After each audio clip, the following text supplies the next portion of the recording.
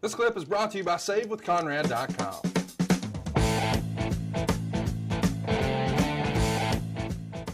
Trish is going to return for a short feud with Melina before we finally meet Mickie James. Who came up with this idea of the, the whole Trish and Mickie saga? Um,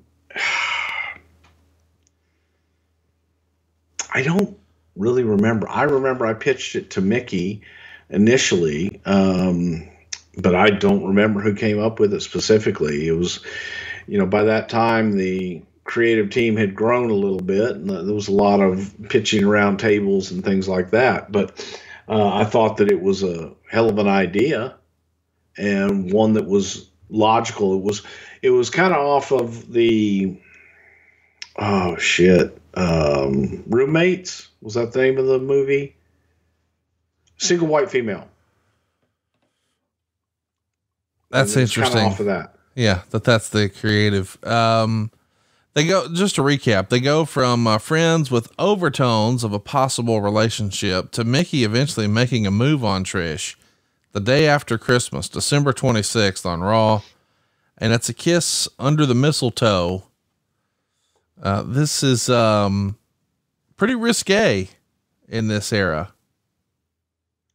Yeah, it was, eh, but it was again, it was looking at you know real life and and and this stuff happens in real life all the time.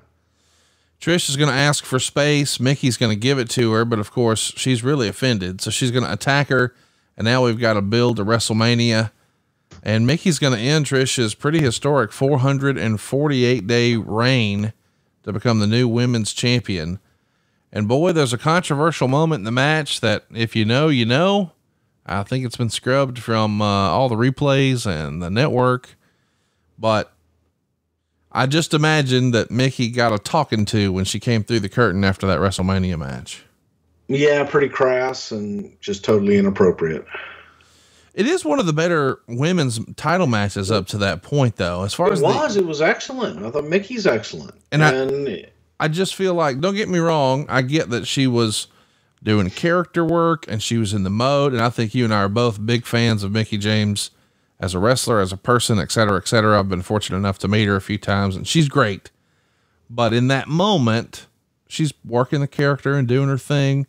But I feel like that moment sort of overshadowed the rest of the match, and people don't talk about how good the match was now as a result, right? Yeah, because unfortunately, people remember the one shock and awe factor. Yeah, more so than the actual match. Yes, exactly. And, you know, it's regrettable. I'm sure in hindsight, nobody would have done it. But, uh, I mean, you were looking for attention. You got it. Not you, but Mickie was. But I just think, man, go watch the match without it. It did. I mean, it's a great match. And, um, yeah. Hey, hey, it's Conrad Thompson. Thanks for checking out the podcast here on YouTube.